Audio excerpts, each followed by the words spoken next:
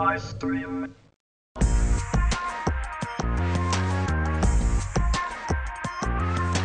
Raj TV நேர்கள் அனைவருக்கும் என்னுடைய இனிய பொங்கல் நல்வாழ்த்துக்கள். தமிழர் திருநாள். தமிழர்கள்னா நமக்கு எல்லாருக்கும் வந்து தீபாவளி விட பொங்கல் தான் முக்கியமான திருநாள். இந்த பொங்கல் எனக்கு ரொம்ப முக்கியமான பொங்கல். உங்களுக்கும் நல்ல பொங்கலாக உங்களுடைய கனவுகள்லாம் நிறைவேறணும்னு ஆண்டவனை வேண்டிக்கிறேன்.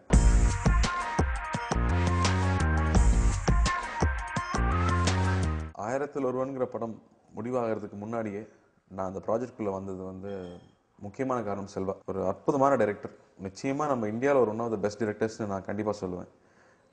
அது ரொமான்ஸ் எடுத்துக்கிட்டாலே அவர் காமிச்ச ரொமான்ஸ் இதுக்கு யாரும் பார்க்காத ஒரு விஷயமா இருந்துச்சு. அவர் காமிச்ச வாழ்க்கை சென்னை வாழ்க்கை இவ்வளோ அற்புதமாக தத்ரூபமாக அது நாங்களாம் ஸ்கூல் படிக்கிறப்ப வாழ்ந்த வாழ்க்கை அப்படியே இருந்துச்சு செவஞ்சி ரெம்ப காலனி பார்க்கும்போது. காதல் கொண்டேன் பார்த்து மெய் மறந்து போயிட்டோம். அதுக்கப்புறம் புதுப்பேட்டைன்னு அப்படி ஒரு எமோஷனல் ஃபிலிம் அவருடைய பரிமாணங்கள் மாறி மாறி வந்திருக்கு. அதில் இப்போ அவர் எடுத்திருக்கிற ஒரு பரிமாணம் சாதாரணமாக சொல்லவே முடியாது. ஒரு ஃபேண்டசி அட்வென்ச்சர் அவ்வளோ பெரிய ஒரு படம். அதை எப்படி இமேஜின் பண்ணாருங்கிறதே யோசிக்க முடியல. அதை இமேஜின் பண்ணி அதை செயல் செயல்படுத்தி ஒரு வடிவம் கொடுத்துருக்கிறது இன்னும் பெரிய விஷயம். எனக்கு இன்ஸ்பிரேஷன் சொன்னால் சினிமாவுக்கு வர்றதுக்கு முக்கியமான காரணம் தமிழ் சினிமான்னு தான் சொல்லணும். அவ்வளோ தமிழ் படங்கள் அடிக்க பார்த்துக்கிட்டே இருப்போம். அதுதான் முக்கியமான வேலையே. ஆனால் நான் அமெரிக்கா போய் நான் வேலை செய்யும் போது தான் ஃபஸ்ட் ஃபஸ்ட் நான் உணர்ந்தேன். என்னால் இன்ஜினியரிங்லாம் வாழ்க்கை பூர்வமாக இன்ஜினியராக வேலை செய்ய முடியாது. அது எனக்கு சீக்கிரம் போர் அடிச்சிடும்னு தெரிஞ்சு போச்சு. ஸோ எனக்கு ரொம்ப பிடிச்சிருந்தது சினிமா என்னோட பேஷனாக இருந்தது. ஸோ அதை பண்ணோம்னா நம்ம வாழ்க்கை பூரா சந்தோஷமாக இருக்க முடியும். அது வெற்றி தோல்விங்கிறது மாறி மாறி வரும். அட்லீஸ்ட் நம்ம பிடிக்கிற வேலை செய்யும் போது நம்ம சந்தோஷமாக இருக்கலாம்னு முடிவு பண்ணது சினிமாக்குன்னு வந்தேன். அப்படி பார்த்தா சினிமா எடுத்துட்டா நான் சின்ன வயசுல பார்த்த எல்லா சினிமாவுமே எனக்கு இன்ஸ்பிரேஷன் பட் நடிப்பு வேலைன்னு வரும்போது எப்படி வந்து ஒவ்வொருத்தரையும் வந்து Sivaji sir MGR sir Rajini sir Kamal sir அதை தவிர்க்க முடியாதோ எனக்கு எப்படின்னா வீட்லேயே ரெண்டு பேர் இருக்காங்க. அண்ணனை மிகப்பெரிய இன்ஸ்பிரேஷன் நிச்சயமாக சொல்லுவேன். ஆயிரத்தில் ஒருவன் பேரே வந்து தமிழ்நாடு ஃபுல்லாக அறிஞ்ச பேர். அது அவ்வளோ ஒரு ஃபேமஸான பேர். எம்ஜிஆர் அவர்கள் நடித்த திரைப்படம். அந்த காலத்தில் அந்த படம் வரும்போதே பிரம்மாண்டத்துக்கு குறைச்சலே இருந்தது கிடையாது. அந்த படம் பிரம்மாண்டத்தை குறிக்கிறதுனாலே என்னவோ தெரியல. செல்வா இந்த படத்துக்கு அந்த பேரை வச்சிருக்காரு. அது கதைக்கு ஒரு முக்கியமான காரணம் இருக்கு. ஒரு அட்வென்ச்சர் அப்படிங்கிறது நம்ம ஊரில் பார்த்ததில்ல. நம்ம வந்து டிவியில் வந்து டப்பிங்கில் வந்து லார்ட் ஆஃப் த ரிங்ஸோ இல்லை மம்மியோ பார்த்துருக்க முடியும். ஆனால் அந்த மாதிரி படங்கள் நம்ம ஊரில் பண்ணவே இல்லை. நம்மளோட ஹிஸ்ட்ரி சார்ந்து அதை ரிசர்ச் பண்ணி ஒரு ஆறு ஏழு மாதத்துக்கு மேலே ரிசர்ச் பண்ணி ஒரு புது அனுபவம் மக்களுக்கு கொடுக்கணுங்கிறதுக்காக பண்ண படம் அது. முழுக்க முழுக்க செல்வாவுடைய கற்பனை.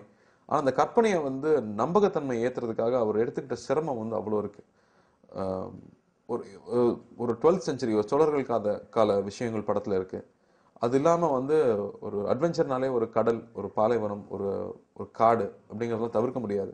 அப்படி பல பல இடத்துக்கு போய் லைஃப்பில் ரெகுலர் நம்ம பார்க்க முடியாத விஷயங்கள் எல்லாமே வந்து அனுபவமாக இந்த படத்தில் இருக்கும். அதில் ஹியூமர் அதில் எமோஷன்ஸு ஒரு எபிக் குவாலிட்டியோட ஒரு படமாக கொடுத்துருக்காரு. நிச்சயம் தமிழ் சினிமாவுக்கு பெருமை சேர்க்குற படமாக இருக்கும். அதுக்கு இவ்வளோ கால கால சமயம் எடுத்துக்கிட்டதுக்கு காரணமே வந்து நீங்கள் படம் பார்க்கும்போது தான் புரியும். அந்த ஒவ்வொரு ஃப்ரேம் பார்க்கும்போதும் இது தமிழ் படமா அப்படிங்கிற கேள்வி எங்களுக்கே வந்திருக்கு. அப்போ நிச்சயம் நீங்கள் படம் பார்க்குறவங்களுக்கு பெரிய பிரம்மாண்டம். இருக்கும். பிரியாமணி பயங்கர ஹார்ட் ஒர்க்கிங் அவங்க ஃபஸ்ட்டு படத்துலேயே வந்து ரொம்ப பலதாவே யோசிச்சிருக்கேன். வேற யாராவது இந்த ரோலை பண்ணியிருக்க முடியுமா? இந்த அளவுக்குன்னு நான் யோசிச்சிருக்கேன். அதில் அடி வாங்கி அவ்வளோ ஆக்ரோஷமாக நடிக்கிறதுங்கிற சாதாரண விஷயமே இல்லை. அதுவும் அவ்வளோ டைம் ஆகும்போது அதுக்கு கூடையே இருந்து உழைக்கணும் நிறையா உழைக்கணும். நிச்சயம் அதுக்கு சினிமாவை அவ்வளோ வெறும் பிடிச்சிருந்தா மட்டும்தான் அதை செய்ய முடியும். ஜெயிக்கணுங்கிற வெறி வேணும். அது எல்லாமே பிரியாமணிட்டு இருந்துச்சு அதனால அவங்க நேஷனல் அவார்டு வாங்கியிருந்தாங்க. ஆண்ட்ரியா ரீமா எடுத்துட்டிங்கன்னா நிச்சயமாக அந்த பாஜிமன் சொல்கிற மேடையில் சொல்லியிருந்தாங்க காசுக்காக ஒர்க் பண்ணணும் இந்த படத்தில் யாரும் ஒர்க் பண்ணவே முடியாதுன்னு. அது ஆம்பளைகளுக்கே அவ்வளோ கஷ்டம்னா பெண்களுக்கு யோசிச்சு பாருங்க. ஃபிசிக்கலாக வந்து உடல் உழைப்பு ரொம்ப தேவைப்படுற படம். அது பெண்களுக்கு ரொம்ப ரொம்ப கஷ்டம். அதில் இவங்க ரெண்டு பேரும் படம் ஃபுல்லாக கூடயே இருந்து அந்த எல்லா விஷயங்களும் தாண்டி கஷ்டங்கள்லாம் தாண்டி உழைச்சிருக்காங்கிறது வந்து சாதாரண விஷயமே இல்லை. பாராட்டப்பட வேண்டிய விஷயம். அண்ட் இப்போ தமனா அடுத்த படம் பையால் பையால அடுத்து காஜல் அகர்வால். நான் மாநில பண்ணிட்டு இருக்காங்க தமிழ்நாட்டை ரொம்ப பிடிச்ச விஷயம் உழைக்கிறதுக்கு அவங்க யோசிக்கிறதே இல்லை. மற்றவங்க மாதிரி தான் இவங்களும்.